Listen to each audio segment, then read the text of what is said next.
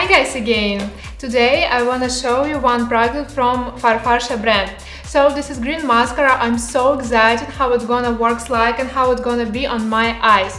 Also, I have this kind of shadow and in my opinion it's so suitable to this green color. In my opinion this is amazing. So I wanna show you something.